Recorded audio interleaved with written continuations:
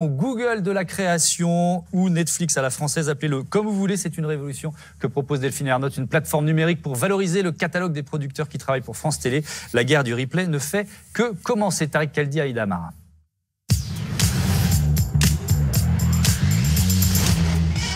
Revoir votre série préférée à la télé, c'est simple. Plus France 2 et c'est parti. Et c'est vrai pour Cécile de France? Elle s'est fait refuser pour le Tarantino à cause de son âge? Ouais. Elle va avoir 40 ans quand même. Mais 7 jours après la diffusion, ça coince. Pour voir un épisode, il faut désormais payer. Votre réflexe, c'est peut-être iTunes, la plateforme d'Apple, à moins que vous ne préfériez le streaming, gratuit, mais illégal. Dans les deux cas, le perdant, c'est le diffuseur, France Télé en l'occurrence. Comment je vais faire? Mercredi, la présidente du groupe Delphine Ernotte était auditionnée au Sénat. Elle y a détaillé les orientations de France Télé, dont sa petite idée pour reconquérir ce marché qui lui échappe. Faire face à nos vrais concurrents de demain, qui sont aujourd'hui Netflix, demain Google, puis Amazon, il faut qu'on ait une offre euh, qui expose les œuvres françaises. C'est que le manque à gagner est énorme pour France Télé. Parmi les œuvres produites par le groupe, 70 à 80% ne lui appartiennent plus. Mais quel gâchis, il y a tellement de richesses. C'est ça en fait, c'est mieux exposer les œuvres, c'est le premier sujet. Et puis au-delà de ça, il y a effectivement un nouveau modèle économique à construire, parce qu'on sait qu'il faut mettre plus d'argent dans la création, parce que c'est ça la réalité. Pour faire vivre la création française, il faut investir. France Télé va devoir s'attaquer à des mastodontes. Netflix, c'est une révolution mondiale dans l'offre de vidéos à la demande avec abonnement. En fait, c'est exactement ce qu'on attendait tous. Plus de 10 000 références, des films, des documentaires, mais son succès, il le doit à ses séries. Je ne fais que commencer, pétasse. Des productions maison surtout, comme Narcos lancé fin août. Au début des années 80, le meilleur contrebandier du monde était Pablo Escobar. Et avec l'argent est arrivée la violence.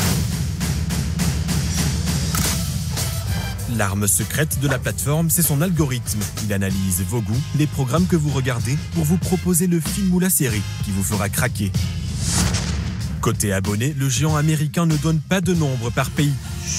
Ils sont estimés entre 500 et 700 000 en France. L'ambition pour la France est en fait la même que partout. Euh, clairement, c'est d'atteindre le tiers des foyers euh, d'ici environ 7 à 8 ans. C'est l'objectif qui est affiché. Donc ça représenterait entre 9 et 10 millions, ce qui est un objectif très important. Mais en fait, c'est le même objectif qui est affiché dans tous les grands pays où Netflix se lance.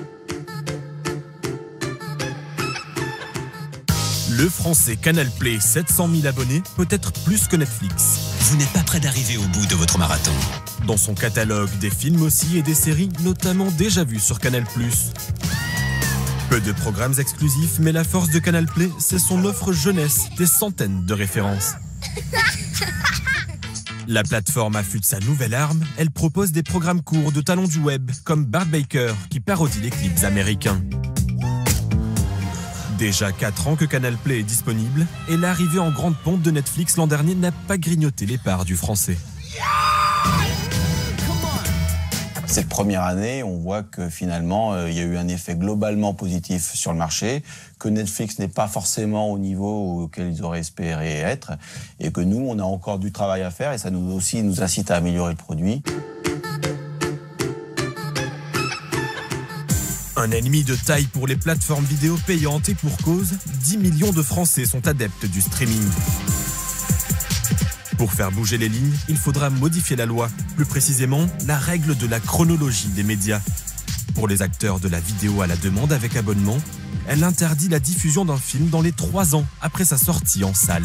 Je crois que l'assouplissement est nécessaire euh, dans la mesure où aujourd'hui on est dans un univers totalement ouvert, extrêmement concurrentiel, concurrentiel par des acteurs qui sont des acteurs pas simplement européens, mais aussi américains. On pense à Netflix, mais aussi parce qu'on est dans un système qui est ouvert. Et quand on est dans un système ouvert, ça veut dire qu'il ouvre la porte à la possibilité d'avoir des plateformes illégales.